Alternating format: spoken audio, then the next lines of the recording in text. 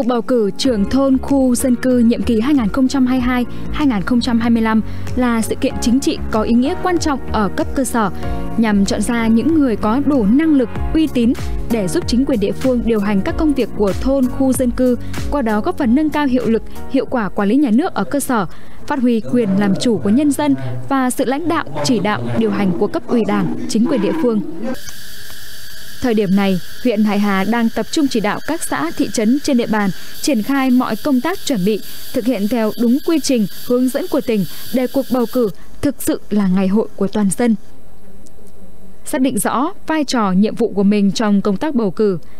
những ngày này, Mặt trận Tổ quốc các cấp huyện Hải Hà đang tích cực chủ động tiến hành các công việc theo luật định để cuộc bầu cử trường thôn khu nhiệm kỳ 2022-2025 diễn ra dân chủ, đúng luật và thành công. Ban chỉ đạo bầu cử huyện đã tổ chức các hội nghị quán triệt các nội dung, phần việc liên quan đến công tác bầu cử tới tất cả các bí thư tri bộ, trưởng khu, trưởng ban công tác mặt trận và lan tỏa tới đảng viên, quần chúng nhân dân. Sau khi kết thúc vòng hiệp thương lần 3, huyện Hải Hà đã thành lập các đoàn công tác do Mặt trận Tổ quốc chủ trì đi kiểm tra, giám sát về công tác chuẩn bị bầu cử ở các xã, thị trấn. Nội dung kiểm tra, giám sát tập trung vào khâu triển khai các văn bản chỉ đạo công tác bầu cử của cấp trên, việc thành lập và hoạt động của các tổ chức phụ trách bầu cử ở địa phương, việc tiếp nhận, chuyển giao hồ sơ người ứng cử, công tác triển khai lấy ý kiến cử tri nơi cư trú, đẩy mạnh công tác tuyên truyền về bầu cử, vân vân.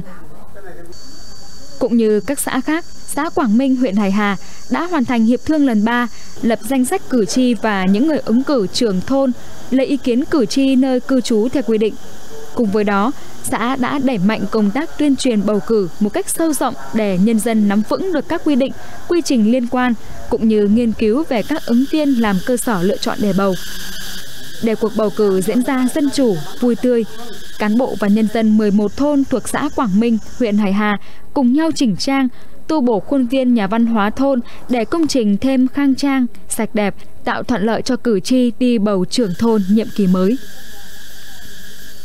Mỗi người một phần việc khác nhau, họ cùng góp sức vào công việc chung của thôn mình với tâm trạng phấn khởi, vui tươi và đặt niềm tin sẽ lựa chọn bầu được trưởng thôn nhiệm kỳ 2022-2025 có đủ đức, đủ tài, có phần củng cố, phát huy sức mạnh và quyền làm chủ của nhân dân, xây dựng thôn ngày càng phát triển. Ban công tác mặt trận thì nói chung là tôi cũng à, thường xuyên là nắm bắt tư tâm tư của người dân rồi à, à, tuyên truyền cho người dân thì à, nói chung là à, người dân thôn Nam chúng tôi là đều đồng thuận với lại à, cái nhân sự mà ban công tác mặt trận chúng tôi đã à, đưa ra. Trong quá trình triển khai thực hiện các bước bầu cử, Mặt trận Tổ quốc và các cơ quan, đơn vị liên quan đã tiến hành giả soát cơ sở vật chất, trang trí lại nhà văn hóa để phục vụ cho công tác niêm yết danh sách cử tri, niêm yết danh sách người ứng cử và phục vụ cho ngày bầu cử. Hướng về cuộc bầu cử, người dân các thôn, khu phố ở Hải Hà đã đồng tình ủng hộ Ngày công lao động để hoàn thiện công tác trang trí, khánh tiết nhà văn hóa, làm vệ sinh môi trường, đem lại cảnh quan rộng rãi, sạch đẹp. Tại thôn 7 xã Quảng Chính, huyện Hải Hà cũng diễn ra không khí sôi nổi hướng về ngày bầu cử. Thôn thường xuyên duy trì phong trào Ngày Chủ nhật xanh do Ban công tác mặt trận giao cho Tri hội Phụ nữ thôn đảm nhận. Tri hội Phụ nữ tuyên truyền vận động người dân tham gia dọn vệ sinh môi trường ở các tuyến đường, duy trì việc này đi vào nề nếp. Sắp đến ngày bầu cử, người dân nơi đây đã dọn dẹp kỹ càng hơn để môi trường, cảnh quan đẹp đẽ, tươi sáng hơn trong ngày bầu cử. À, ngày bầu cử sắp tới là ngày à, hội của toàn dân. Vì thế mà chị em phụ nữ thôn 7 chúng tôi cùng nhau đoàn kết, cùng nhau hiệp lực để dọn vệ sinh ở khu công cộng và khu nhà văn hóa. Những ngày này, các già làng, trưởng bản, người có uy tín trong đồng bào các dân tộc thiểu số trên địa bàn huyện Hải Hà cũng tất bật hơn nơi những thôn bản vùng sâu, vùng xa. Nhưng họ rất vui vì được chung tay góp sức để ngày bầu cử trưởng thôn bản trên địa bàn mình thành công tốt đẹp. Suốt mấy hôm nay, ông Phùn Lập Sành, dân tộc Giao, là người có uy tín ở bản Là Lý, xã Quảng Đức, huyện Hải Hà, ít khi có mặt ở nhà mình Hàng ngày ông Sành đến từng nhà dân, gặp từng người để tuyên truyền về những nội dung liên quan đến công tác bầu cử. Ông phổ biến, giải thích cặn kẽ cách cho bà con lựa chọn cách bầu để tìm ra được người có đủ phẩm chất năng lực làm trưởng thôn trong nhiệm kỳ 3 năm tới. Chúng tôi chủ yếu là kết hợp các có nếu mà có hội nghị của thôn bản đấy thì chúng tôi xuống tôi kết hợp tuyên truyền. Nếu mà không ấy thì thỉnh thoảng chúng tôi đi ngồi chơi, đông đông ngồi chúng tôi vẫn có tuyên truyền. Rồi thì các cái đám cưới, đám uh, treo đấy thì kết hợp để tuyên truyền luôn. Mình phải làm nhiều cách mình uh, tuyên truyền vận động làm sao mà một là chấp hành là cái ngày đi bầu cử. Ở huyện Hải Hà thời gian này, ở bất cứ thôn, khu phố nào trên địa bàn đều tràn ngập không khí thi đua sôi nổi với những công trình, phần việc hướng tới chào mừng cuộc bầu cử trưởng thôn, khu phố nhiệm kỳ 2020-2025 cấp ủy chính quyền các cấp sát cánh cùng mặt trận và các tổ chức chính trị xã hội ở các xã, thị trấn chủ động chỉ đạo sâu sát với các khu dân cư, bảo đảm làm tốt công tác nhân sự, lựa chọn những người đủ đức, đủ tài để tham gia ứng cử vào danh sách bầu trưởng thôn, khu phố. Công tác tuyên truyền cũng theo phương châm làm cho cán bộ, đảng viên và nhân dân hiểu rất rõ phương châm dân có tin thì đảng mới cử để phát huy bảo đảm người dân thực sự làm chủ của sự kiện quan trọng này. Mặt trận Tổ quốc và các tổ chức chính trị xã hội các cấp của huyện đã thực hiện tốt công tác tuyên truyền trực quan và triển khai chu đáo các bước chuẩn bị cho bầu cử đúng quy trình, quy định, dân chủ, công khai, minh bạch là ngày hội lớn trên địa bàn dân cư. Là một ứng cử viên được bầu vào như trưởng thôn nhiệm kỳ 2022-2025 tôi sẽ ừ, thực hiện tốt trong cái việc phát triển kinh tế xã hội ở khu dân cư tức là xây dựng ờ, nông thôn mới kiểu mẫu đưa cái, cái đời sống vật chất tinh thần của nhân dân ở khu dân cư làm sao phát triển tại thôn Hải Đông, xã Quảng Thành, huyện Hải Hà, mặt trận thôn đã triển khai các bước hiệp thương trong công tác nhân sự. Đến thời điểm này, thôn đã hoàn thành hiệp thương bước 3, lựa chọn và giới thiệu danh sách người ứng cử. Hiện thôn Hải Đông đang tiến hành niêm yết công khai danh sách cử tri, người ứng cử trưởng thôn nhiệm kỳ 2022-2025 tại nhà văn hóa. Thôn Hải Đông hiện có 199 hộ gia đình với hơn 640 nhân khẩu. Toàn thôn sẽ có 199 cử tri đại diện hộ gia đình tham gia công tác bầu cử.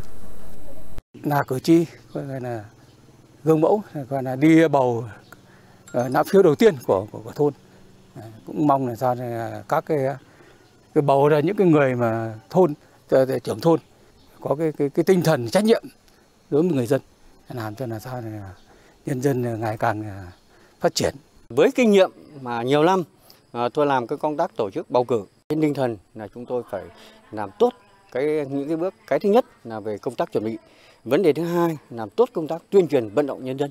Ờ, cái cái này là vấn đề là rất quan trọng, là để như vậy là cử tri, nhân dân người ta ủng hộ mình thì người ta sẽ nắm bắt được, hiểu được và cái tầm quan trọng của cái công tác bầu cử.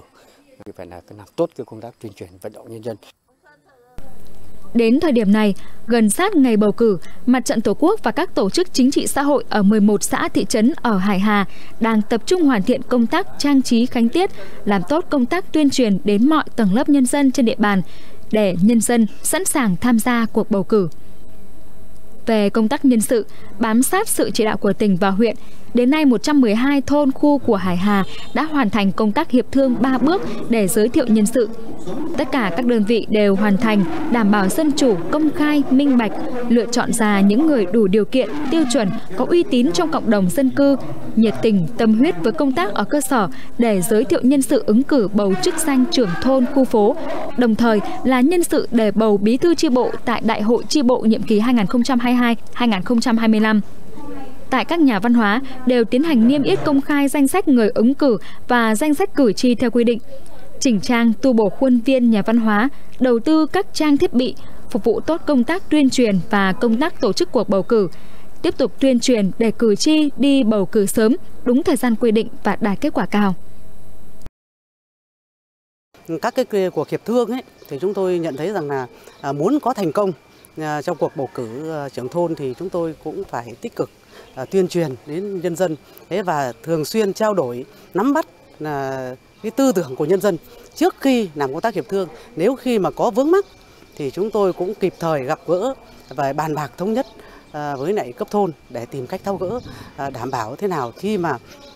trưởng thôn mà được nhân dân tín nhiệm đảng cử dân tin là phải người có đủ uy tín, rồi à, đủ điều kiện để gánh vác trọng trách và hoàn thành tốt mọi nhiệm vụ được giao huyện Hải Hà đã chỉ đạo Ủy ban nhân dân các xã, thị trấn ban hành công bố quyết định ngày bầu cử trưởng thôn khu là ngày 5 tháng 6 2022. Thời gian còn lại trước ngày bầu cử, huyện sẽ hướng dẫn các xã, thị trấn tăng cường công tác tuyên truyền, ra soát danh sách cử tri trên địa bàn. Dự kiến toàn huyện Hải Hà sẽ có 18.252 đại biểu cử tri đại diện cho hộ gia đình thực hiện công tác bầu cử theo hình thức bỏ phiếu kín để bầu ra 112 trưởng thôn khu phố ở 11 xã thị trấn của huyện. Ừ, huyện Hải Hà đã tập trung chỉ đạo các cái bước luôn luôn là chủ động các cái thời gian cũng như công tác tuyên truyền và thực hiện cái cái cái nội dung đúng theo cái kế hoạch đã đề ra. Cho đến thời điểm này đấy thì cán bộ và nhân dân uh, trên địa bàn huyện Hải Hà và tới các cái thôn bản rồi khu phố thì cái công tác lãnh đạo chỉ đạo của cấp ủy chính quyền địa phương đặc biệt là à, của các uh, ban công tác mặt trận Ờ, các thôn bản khu phố thì đã thực hiện ờ, rất là trách nhiệm, chu đáo trong công tác tuyên truyền, hướng dẫn, rồi là tổ chức, chủ trì, tổ chức các cái hội nghị hiệp thương ở các cái thôn bản khu phố và đã mang lại kết quả rất cao. Và đó là công tác quan tâm về ờ, tuyên truyền rồi tư tưởng và chủ động là ờ, chuẩn bị các cái cơ sở vật chất, công tác ừ, vệ sinh môi trường. Bầu cử trưởng thôn khu phố nhiệm kỳ 2022-2025 là đợt sinh hoạt chính trị sâu rộng, là ngày hội của nhân dân các địa phương toàn tỉnh, trong đó có Hải Hà. Qua đó, cử tri phát huy tinh thần làm chủ của mình, lựa chọn được những người có phẩm chất, năng lực tốt nhất, xứng đáng là chỗ dựa của người dân, lãnh đạo thực hiện nhiệm vụ xây dựng thôn, bản khu phố ngày càng phát triển với sự chuẩn bị chu đáo từ sớm, tin rằng cuộc bầu cử trưởng thôn khu phố trên địa bàn huyện Hải Hà và các địa phương khác trong toàn tỉnh sẽ thành công tốt đẹp, thực sự trở thành ngày hội của toàn dân.